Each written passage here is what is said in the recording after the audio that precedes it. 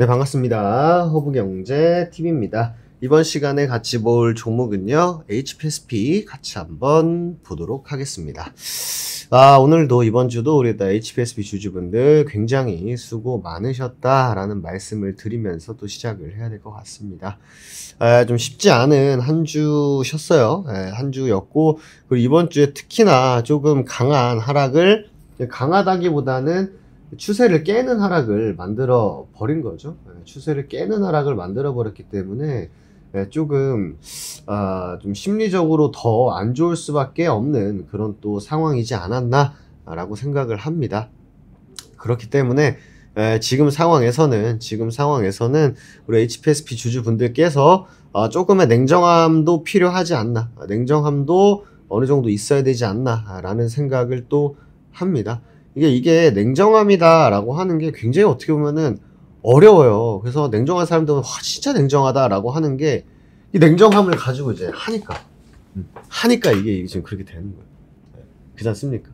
그러니까 이게 제 HPSP 같은 경우에는 일단 1차적으로 우리가 좀 여기는 안 깨는 게 좋겠다라고 하는 4만원 라운드 피겨 구간에 이탈을 시킨 건 맞아요.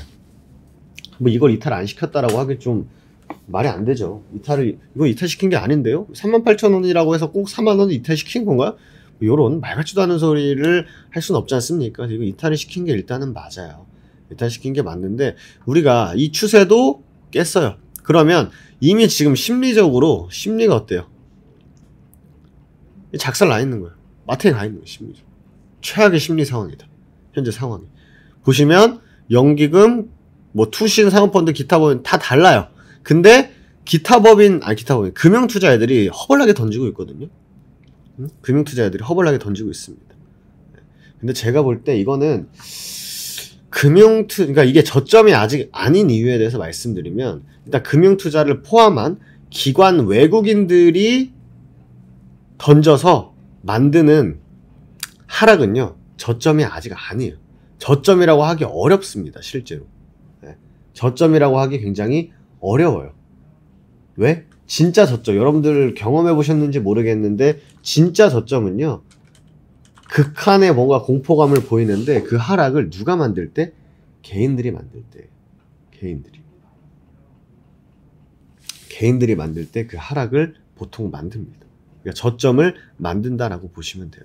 근데 아직까지 뭐 HPSP 같은 경우에는 보시면 예, 개인들은 계속 사고 있어요. 그러니까 빠지니까 사는 거예요. 아직 살 만큼 매수를 할 만큼 뭐가 있는 거예요? 숨 쉴 만한 그게 있는 거예요. 숨 쉴 만한. 어? 빠지네? 어, 일단은 뭐 내가 좀 매수할 여유는 좀 있어 하면서 매수. 그 저점일까요?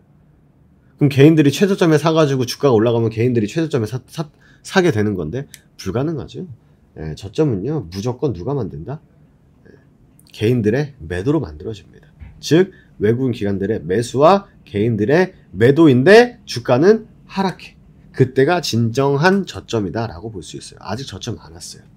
그러면 아 저는 HPSP를 더 살 생각도 있고 더 살 수도 있는데요. 아 그럼 아직 저점이 아닌 거네요. 저점 아니에요. 지금 기다려야 됩니다.